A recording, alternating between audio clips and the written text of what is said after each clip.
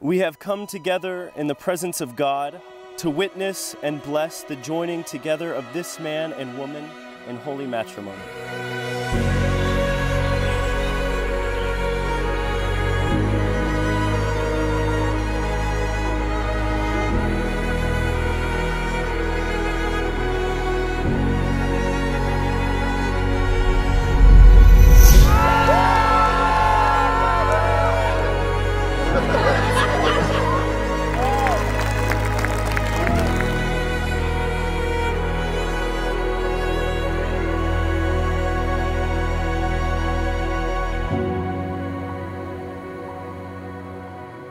With all that I am, all that I have, I honor you.